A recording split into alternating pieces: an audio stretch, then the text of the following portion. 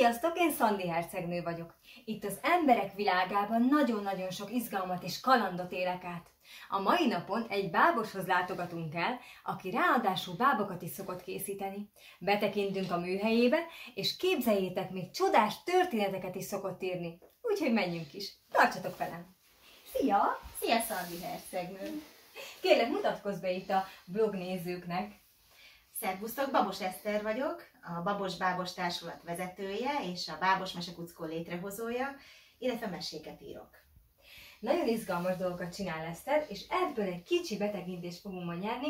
Hát nézzük meg, hogy most mi, miken munkálkodsz tulajdonképpen.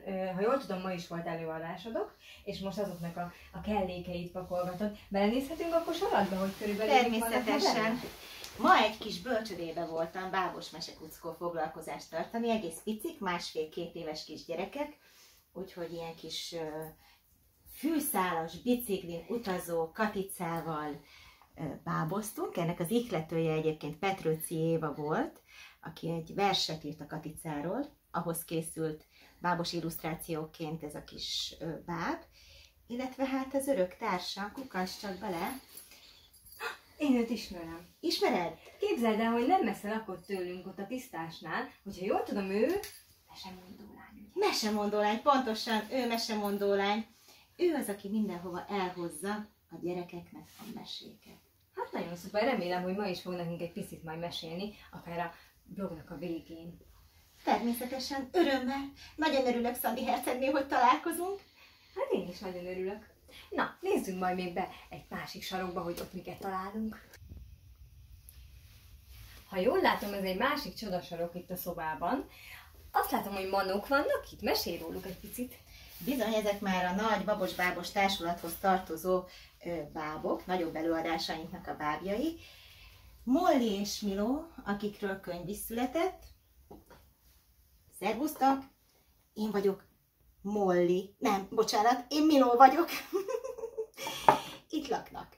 Molly is, Miló is, a pocok mobil, amivel átszágoldanak az erdőgön, a hóbagoly, illetve rengeteg más báb pedig a padláson, és nagyon sok díszlet, azok pedig a padláson laknak. Hogyha lehet ezt kérdezni, körülbelül hány bábod van szerinted, szerinted itt a házban? Hát, ezt sajnos nem tudnám megmondani, rengeteg. Egy titkot megmutathatok?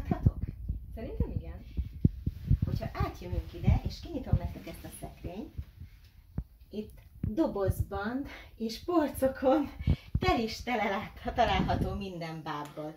Külön vannak helyük a zoknibáboknak, külön vannak a filcanyagból készült, a kesztyűs bábok, sőt, még ilyen csodálatos répamobilokat is rejt a szekrény, amiben a nyuszik szoktak utazni.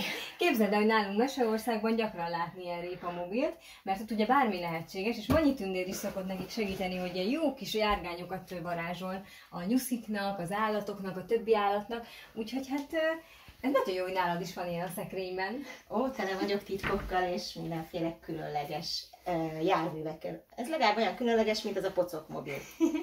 Az is nagyon jó néz ki. És gondolattal irányítható. Uh-huh.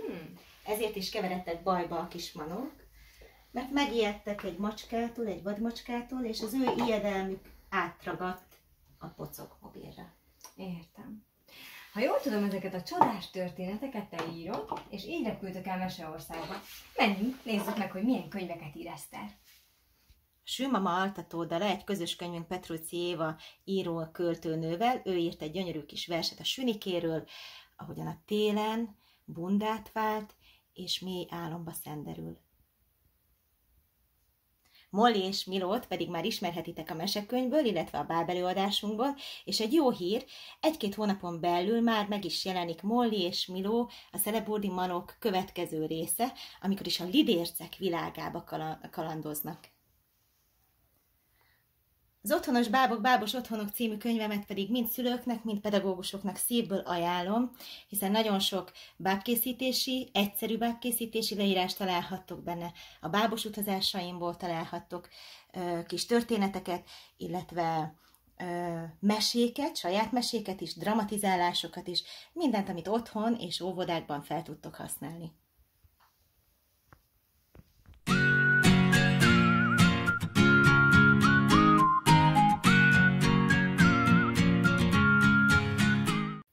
Jól tudom, iskolásoknak tartasz bábszakkört is. Mik történnek egy ilyen szakkörön? Hát nagyon izgalmas dolgok történnek. Egyrészt rengeteget játszunk bábokkal, és nem csak bábokkal képzeld el, hanem néha viszek be nekik használati tárgyakat, vagy egyszerűen csak anyagokat, papírokat, és azzal is nagyon jól tudunk bábozni. De most egy komoly megmérettetésre készülünk. Pont a hétvégén részt veszünk a gyermekbábjátékos találkozón, és bizony őket visszük magunkkal. A hetet egy csapásra olvasható is, talán ismeritek ezt a mesét gyerekek, ez egy magyar népmese. A hetet egy csapásra, ő benne az ördög, ő a fő ördög, és a kis ördög fiókák, pedig még itt a, illetve gyerekek, nem csak ördög fiókák a dobozban lapulnak. Ezek azért szerencsések, mert egyszerűen tudják kezelni a gyerekek, és hogyha otthon szeretnétek ilyen könnyen bábot készíteni, elárulok még egy titkot, ha szabad, ha megnézitek, sütőkesztyűre raktuk rá az anyagot, és már is egy könnyen mozgatható báb lett belőle. Hát igen, azt én tudtam, hogy te készítesz ilyen bábokat, úgyhogy azt gondolom, hogy jó sok tippet majd esetleg meg is oszthatsz még velünk itt a blognak a végén, hogy mi az, amiből érdemes mondjuk bábokat készíteni. Örömmel. Ha jól látom, van itt egy kincses dobozod, amiben ténylegesen olyan bábok vannak, amiket otthon a gyerekek is el tudnak készíteni, mondjuk a szülők segítségével. Mesélj nekem kérlek erről a dobozról és a tartalmáról. Hát ezek a bábok egy óvodai március 15-i alkalomra készültek. Nagyon egyszerűen el tudjuk készíteni, akár a kis, kis hölgyet, a kis táncos lányt, a néptáncos lányt, akár a huszárokat, de még Kossuth Lajost is. Ővelük aztán lehet mondókázni, ritmusra lépni, mindenféle mókás dolgot csinálni, és hogy ne csak sétáljanak ezek a bábok. Kivennéd a lovacskámat, Szandi hercegnő? Természetesen. Fel tudjuk őket ültetni egy lovacskára is. De ugye nincs még ruhája. Hát egy fejet nem ültethetünk csak úgy fel. Teljesen jogos. Itt van ezért. Itt teszem hozzá, köszönöm. Mindegyiknek van egy picike kis ruhácskája, ami semmi másból nem áll, mint egy-egy anyagdarab. Egy piros, egy fehér és egy zöldből. Kossuth Lajosra például a fehéret teszem. Látjátok, egy egyszerű anyag. Megfogom az anyagot, ide teszem elé, és már is van keze. Fel tudom ültetni a lovacskára. Hívni. Onnét tud integetni nekünk. És, hogyha elég ügyesek vagytok, egy kardot is készíthettek a kezébe. Ami pedig papírból készül. Ami igaz, pedig papírból látom? készül. Hát ez nagyon csodás. Ez jobb, mint a varázslat nálunk, hiszen itt bármit meg tudunk csinálni, úgy, hogy közben még egy kicsit az agyunkat is kell tornáztatni. Azt gondolom, hogy készítsetek ilyen bábokat, mert ez nagyon izgalmas. Akkor elkészítjük a lovacskát, méghozzá az okniból. Figyeljetek!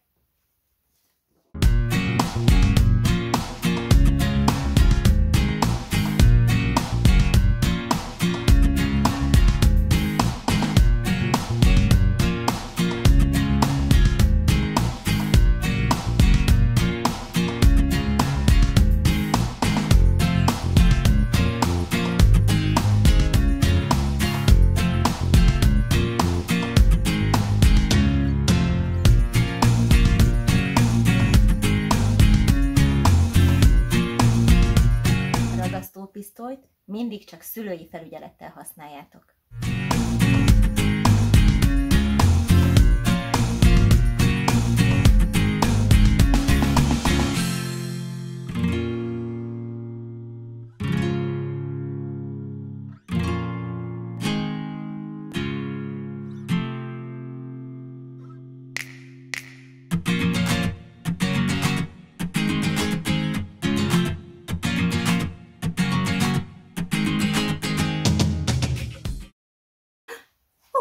Hiszem, van valaki mögöttem. Kukucs!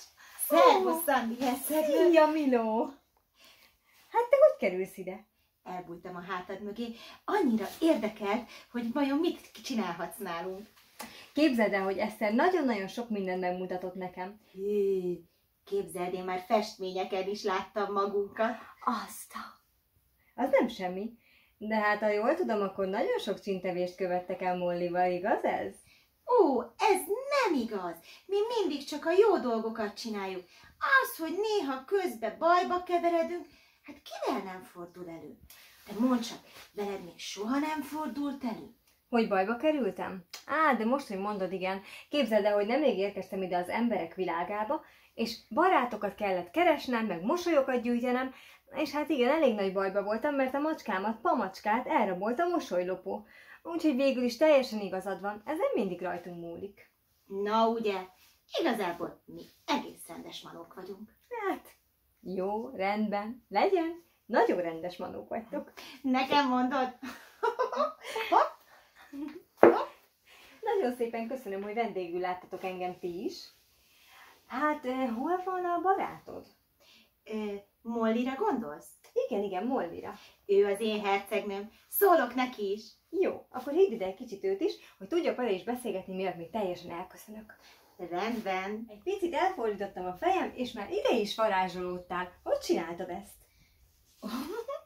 A manok rengeteg varázsigét tudnak.